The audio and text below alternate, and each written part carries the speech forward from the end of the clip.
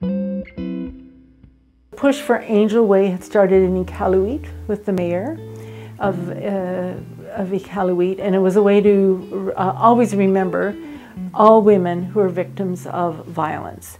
So we all met together and we talked about the significance for Edmonton, especially because there have been so many women, many Indigenous women, and women of other heritage who have been victims of violence, whether it was uh, street exploitation violence or domestic violence.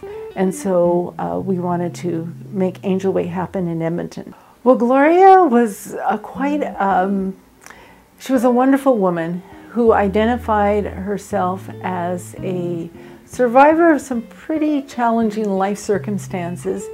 And it was when she was in prison that she discovered she was also an artist.